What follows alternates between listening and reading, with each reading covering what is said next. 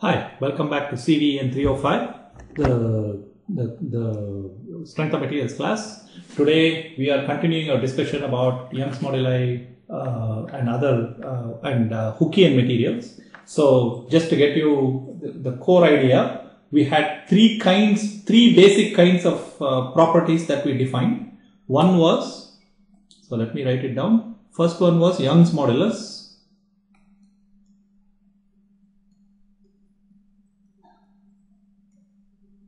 The symbol is E and it is sigma xx over epsilon xx which is sigma yy over epsilon yy which is sigma zz over epsilon zz.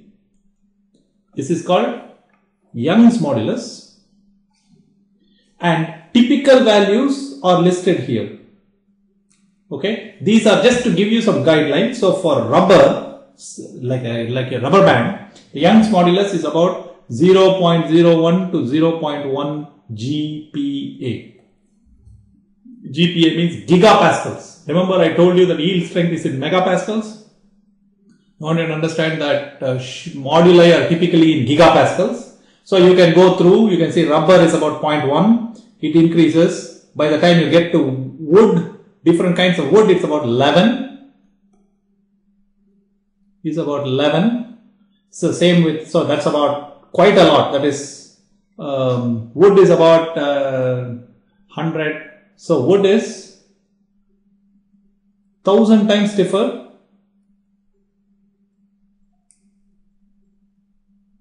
than rubber.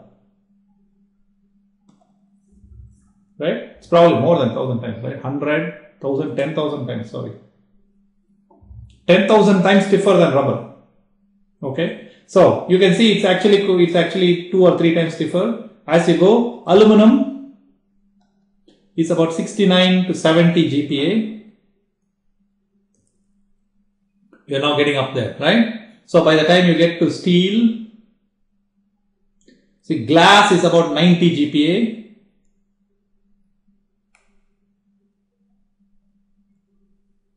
Okay, so we can go further down Bronze is, brass and bronze are about 120. Titanium is 120.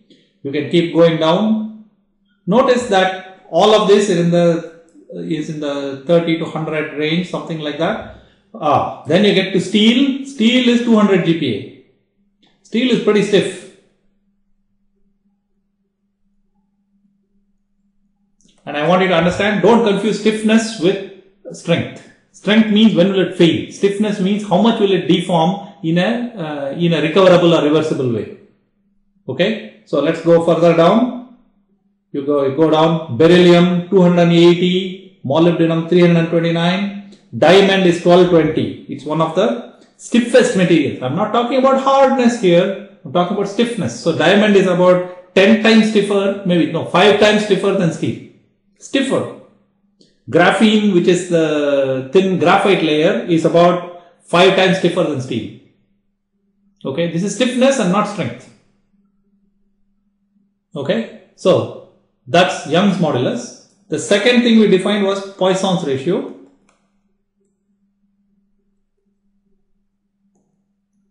Which is the symbol is nu, which is minus sigma xx, sorry, minus epsilon yy over epsilon xx under simple tension.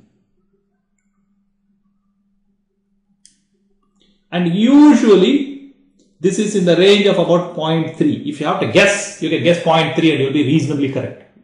If you get 0, that means no lateral shrinkage.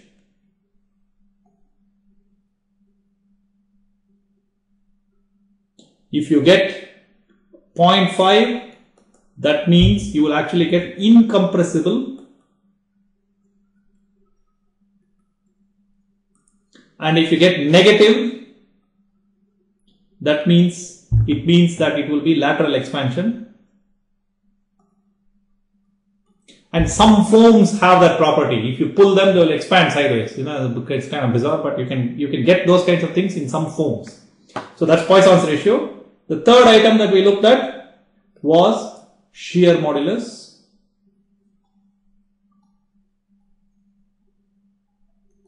And the symbol for that is G and this is defined as sigma xy xy over gamma xy which is sigma yz over gamma yz which is sigma zx over gamma zx for isotropic material. All these three things are equal. And it turns out that there's a very interesting relationship so for isotropic materials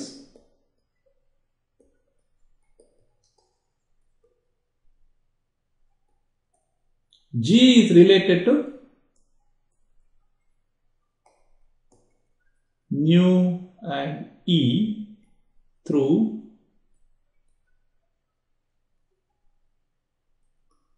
G is equal to E over 2 times 1 plus nu. That's a really interesting relation. So let's see what that would mean for steel. So steel, let us say uh, E is 200 GPa, nu is about 0.3. So G will be 200 divided by 2 times 1 plus 0.3 which is 100 over 1.3. That's about 70 or something like that, 70 GPa. Just gives you a rough idea how much is the shear modulus. Okay, because shear modulus, Young's modulus and things like that are related. Now we can write the full Hooke's law in terms of just two parameters, E, Young's modulus and Poisson's ratio. Okay, if you do that, you will get this nice looking matrix. Where's that? There it is. This is the matrix. So I want you to understand this corner is all normal strains, normal stress, axial strain. And this corner is all shear stress, shear strain.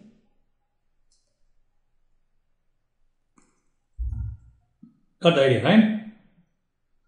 So this is the whole idea behind uh, this, this property. And you can notice that I can pull out the the Young's modulus outside because it's uh, it's the same for the whole for all these things. And the shear modulus is hidden here. 1 plus nu over e that is 1 over 2g okay? So for example for plane stress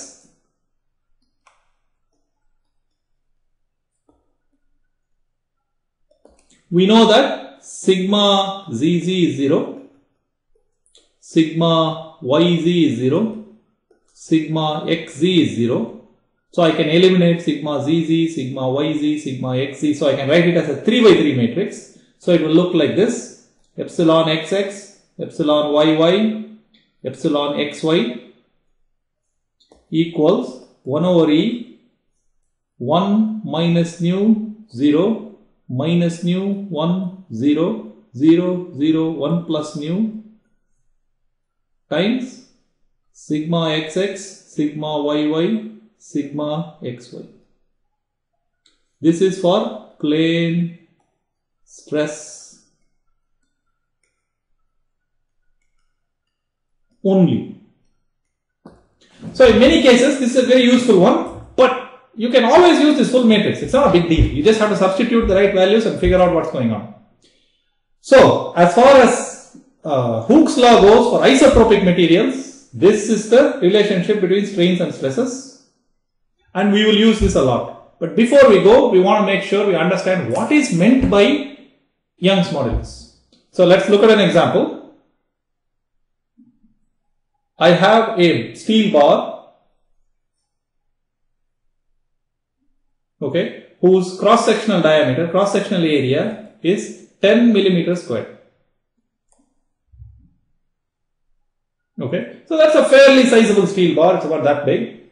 The question is, let us say I apply a force on this steel bar like this of 10,000 newtons. So what's the stress? So we want to find out how much will it elongate. Let's see.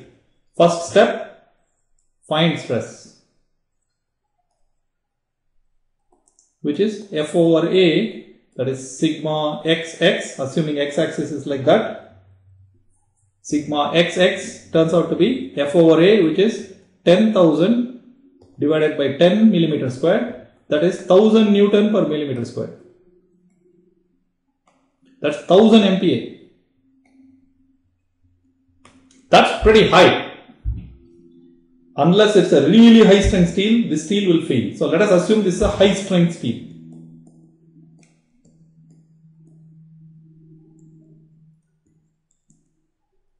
Like Maraging steel or something like that.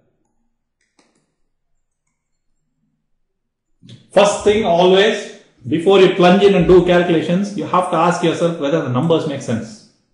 So in this particular case, you're already up there. You know, if you want to take a 10 mm bar and you want to, if, you want to put 10,000 newtons on it, you are going to apply a force of 1000 MPa. If you want to put a 1000 newtons on it, a 1000 newtons is about 100 kilograms. So if you want to put 100 kilometers on it, kilograms on it, you have 100 newton, newton per millimeter squared, you're at 100 MPa, that's reasonable. Okay, so let's say it's 1000 MPa and you're using Maraging steel. By the way, it doesn't matter what quality of steel you make. Its strength may be very high, it is very difficult to change its modulus. So whether it's Maraging steel or whether it's mild steel, the modulus will always be roughly around 200, 200 GPa. So how will we use this? So in principle, we can go back up here, put sigma xx is 1000 or uh, sigma xx is 1000 MPa, this is 0, that's 0, that's 0, that's 0, that's 0 and we can calculate. If you do that, you will get something very, very simple. So use matrix, use Hooke's law to find strain which is epsilon xx is sigma xx over E which is 1000 MPa divided by 200 GPa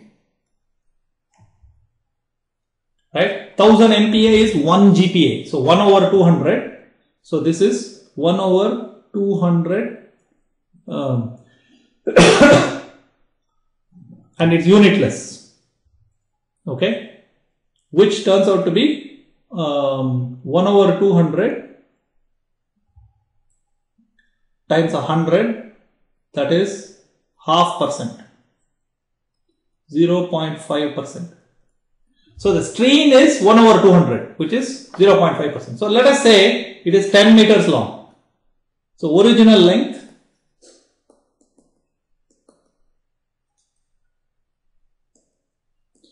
Ten meters. So how much will it elongate?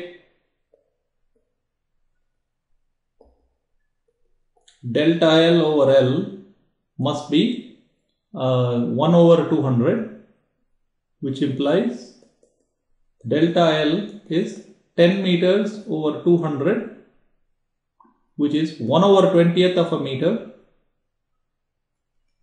which is um, 5 centimeters. So it will extend about 5 centimeters if you put 10,000 newtons on this. And if it is 10 meters long and that's a pretty long rod. Okay and 5 centimeters is huge. I want you to understand that. Okay typically Maraging steel you even Maraging steel it, it will extend a lot. I mean, this is just an idea to for you for you to see how it may work fine in terms of strength but it may elongate too much and hence you may be you may not be able to use it. So even though this Maraging steel in principle, I mean I'm not saying that the calculation, the numbers are exactly correct, but approximately. Okay, even though it was able to take 1000 megapascals without failure, strength failure, but it may elongate too much and so you have to worry about that also. And that's where we are headed next. Thank you.